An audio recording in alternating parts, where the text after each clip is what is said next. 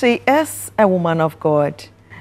Actually, she says she is a prophetess and she has a confession. And I'm humbled that people of her kind will come to us with their challenges when the one that receives and counsels others for their challenges is challenged, who gives them the help?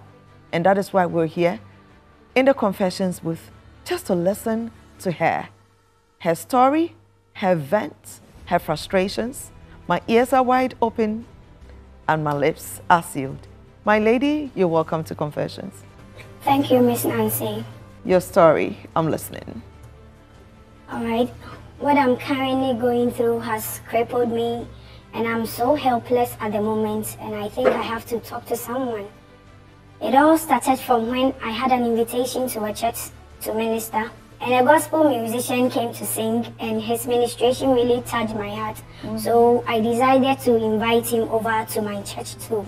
Okay. When he came, he was able to perform wonders, and all my church members were amazed. Wow. So wherever I go to minister, he go with me to mm. pave way for the Holy Spirit with his sweet voice. Mm.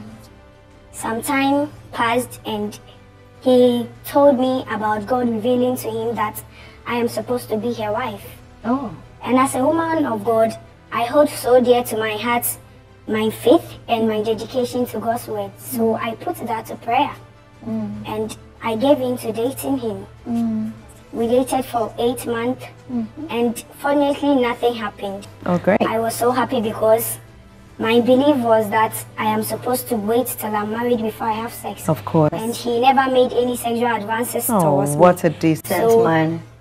Eventually, I married as a virgin and I was so happy oh, about it. Oh, congratulations. Thank you, madam. The sisterhood is proud of you. There are very few virgins in Ghana now. What I'm about to tell you will blow your mind hmm. because our marriage started and no sex was going on. There was no sex.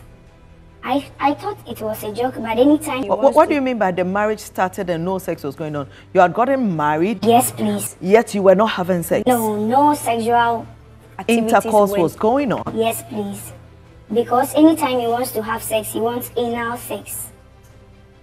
Did you go for honeymoon? Yes, please. Through all that, no sex happened till we came back. I thought it was a joke, but later he insisted his intention of having anal sex with me. The man would only have the backside of his own wife? Yes, please. Does he intend to have children?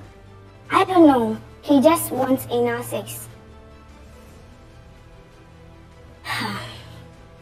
okay. So, I gave it some time, but still, that was what he was looking forward to. So the extent that he left home for three weeks, leaving me all lonely. And that is what blew my mind to just take a decision that has brought me to this traumatic situation. What decision did you take? I decided to give in to the anal sex. Hey, my sister. Yes, please. I'm sorry. Yeah. I was so helpless because he's my husband and I'm supposed to satisfy him sexually. Even though it was so against my belief, but I, I just needed to save my man. So I gave save your man and save your marriage by giving your backside to your man so against your own principles and values and your hmm. sexual preference. Yes, I gave in to the anal sex. That is why I'm here because currently speaking, I'm in so much pain because the act is just getting my head off. No, no, uh, uh, so even when you gave in to the backside, he's not using the front?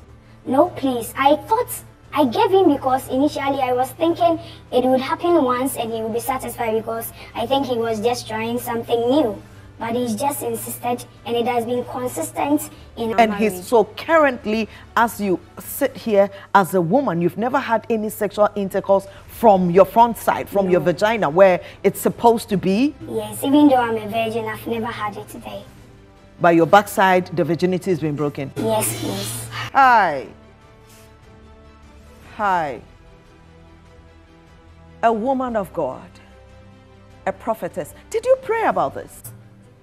It has distorted every spiritual aspect of my life because, you know, it is very filthy to do that. That is why I'm here. I need help.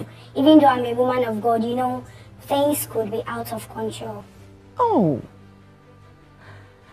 Well, the man says that you are my wife, but the only place I want to enter is the backside. And she's endured it because she was a woman of God. When those who are supposed to receive and help others with challenges are challenged, who do they go to? Let us go into the studio. My studio guests are ready and my resource persons are ready. And uh, this is not exactly a nice confession, my dear. I'm sorry, okay? Thank you.